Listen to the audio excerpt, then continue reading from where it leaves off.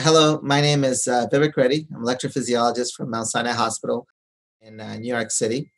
And uh, I'm going to speak on the, our late breaking clinical trial at uh, the virtual HRS symposium on the lattice tip catheter that can toggle between radio frequency energy and pulse field energy to treat patients with atrial fibrillation. I should note that I do have a conflict of interest with regards to this particular technology. I serve as a consultant and have an equity conflict with the company that manufactures this device.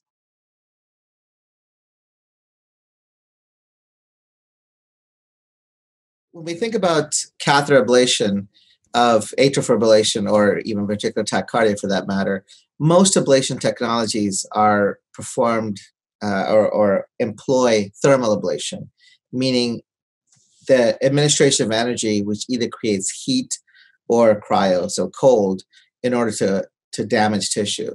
Now, the one of the issues about thermal ablation is that it is relatively tissue indiscriminate, meaning as long as the heat wave or the cold wave reaches that tissue, that tissue gets ablated and that's fine for the myocardium. But the problem, of course, is uh, for atrial fibrillation ablation, there are adjacent structures like the esophagus, like the uh, phrenic nerve, or a coronary artery, for example, which, um, uh, if you inadvertently damage that, can obviously have important safety implications. So, pulse field ablation is a different way of, of ablating tissue. It involves the administration of uh, of high voltage electrical energy for very short periods of time, typically microseconds, even nanoseconds. But the point is, it's a very short time, short enough that the amount of heat that's generated is actually trivial. So the mechanism of ablation is not based on thermal injury, but it's rather based on the fact that when you apply these very high currents for a very short period of time, that causes holes in cell membranes, which can be irreversible can be reversible at low energies and irreversible at higher energies. So the uh, so the idea is to uh, cause this non-thermal type of ablation called electroporation because you're porating these cells, and uh, and that's the mechanism of damage. Now, why is that interesting? Well, there are a couple of reasons. One is it's very fast. So instead of talking about uh, seconds many, many seconds in order to make a single ablation lesion because of the time it takes to propagate heat. We're talking about lesions that are typically um, very, very quick, um, microseconds long, or a train of these pulses that last just a few seconds. Um, but the most interesting aspect of pulse field ablation is that electroporation can be performed in a way that you can cause relative selectivity of ablation. So it turns out that myocardial tissue is uh, more sensitive uh, to pulse field ablation than, for example, the esophagus or the phrenic nerve. So, because of that reason, depending on the right amount of the, the proper amount of energy, if it's used, then you can selectively ablate the myocardium without damage to the adjacent structures. And I'm, I'm using my, I'm choosing my words carefully because I also want to point out that if it's not performed um, appropriately, let's say, then it is possible to cause damage to the esophagus, the phrenic nerve, using high enough amounts of energy. So it's important to try to get to that sweet spot that you're able to ablate the myocardial tissue without the other tissue.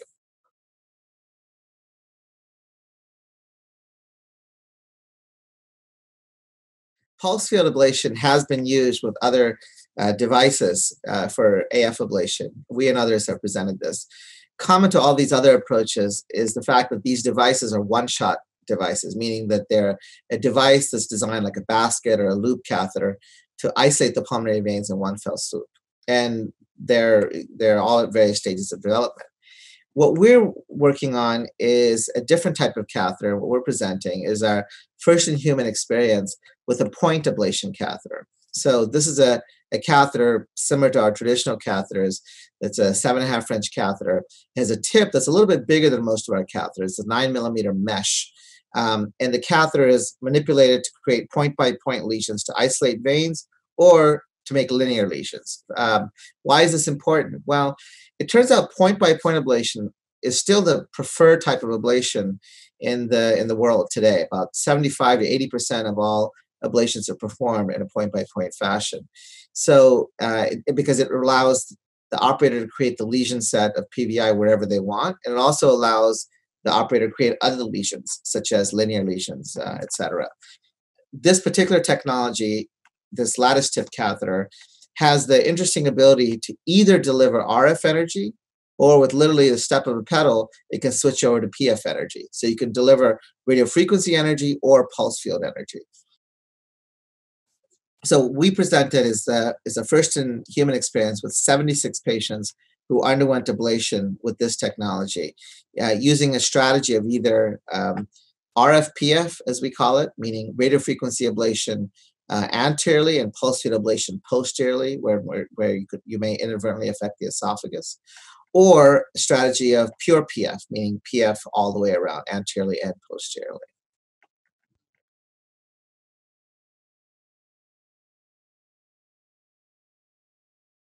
We had 76 patients, and this is again the first in human experience conducted at three centers in Europe. Um, and, and the procedures were performed by I think 11 different operators, so a number of different physicians uh, performed these procedures. The on the feasibility and the and the acute efficacy side, it was it turned out that this catheter system was able to um, quickly perform these procedures. So the mean time for isolating the pulmonary veins was in the order of 22 to 23 minutes, so very very quick. Um, and also selected patients underwent linear ablation, either mitral line, left atrial roof line, or cava tricuspid isthmus line. And all of those lesions took between two to five minutes each. So they were very quick, these lesion tests, and there was 100% success in terms of achieving uh, the goal in all these cases. Um, so again, on the efficacy, acute efficacy, it, it, things went very well. And also the performance was quite good with quick procedure times. On the safety side, um, again, it was quite good the the primary safety endpoint was a composite of all the various major adverse events that can occur. Uh, there was one in the 76 patients, so 1.3%. And that was a patient who had a vascular complication requiring surgical repair. Interestingly, interestingly that vascular complication was on the contralateral side of where the ablation catheter had been inserted. So it was on the side where we had um, a sheath for intracardiac ultrasound catheter. There were no fistulas no um, pulmonary vein stenoses or pericardial tamponades or phrenic nerve injury um, or strokes or TIAs.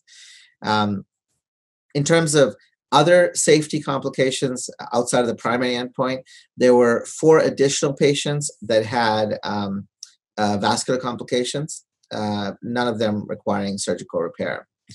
Um, in addition to these safety complications, we also did two additional important types of safety assessments. Um, we did endoscopy, and a significant minority of the patients, uh, actually a significant majority of the patients, in 60 patients, we did uh, endoscopy. Um, all of the patients where we used a pure PF approach, no lesions.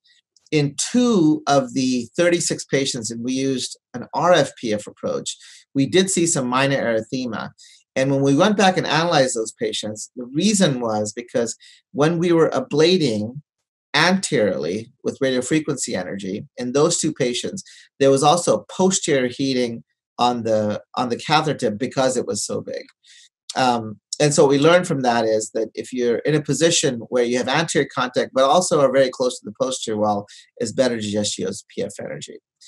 Um, and then the final analysis that we did was we did brain MRIs in 51 of these uh, 76 patients.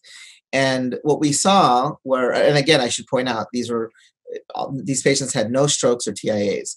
We did see some asymptomatic um, uh, cerebral lesions in a minority of the patients. In five patients, we saw DWI positive or FLAIR negative lesions, and in three, we saw DWI positive and FLAIR positive lesions when we looked again retrospectively at these patients, what we noticed was that in those patients that had MR positive lesions, the mean ACT, the mean first ACT, was only 266, versus those that had MRI negative, it was 335. So it's very clear that it's important. Well, I shouldn't say it's very clear, but we believe that uh, it's important to um, uh, keep the first ACT very high before starting the procedure, the ablation, etc.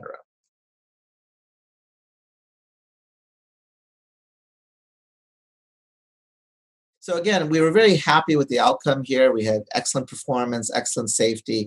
Um, but I think we have to remember this is just what we're presenting because this is the data that we have right now. What we're presenting are the acute outcomes uh, from this uh, from this group of patients. Uh, we still need to understand are the lesions durable? I mean, just because we have acute isolation doesn't mean that they're necessarily chronically isolated. So it's important, or it will be important, which we're planning on doing. Uh, it'll be important to do remapping studies so that we understand the durability of these lesions. And second, of course, is clinical outcome. Um, you know, it's interesting that we had done a previous study where with radio frequency ablation alone, we had extraordinary outcomes with one year freedom from atrial arrhythmias over 90%. I mean, it's the best I've seen in a, in a clinical study. Um, whether or not that actually is maintained in this kind of a situation where we use RF and PF, where we have detailed um, uh, event monitoring, et cetera, et cetera, uh, we need to uh, really understand that. So that is going to be the subject of future studies.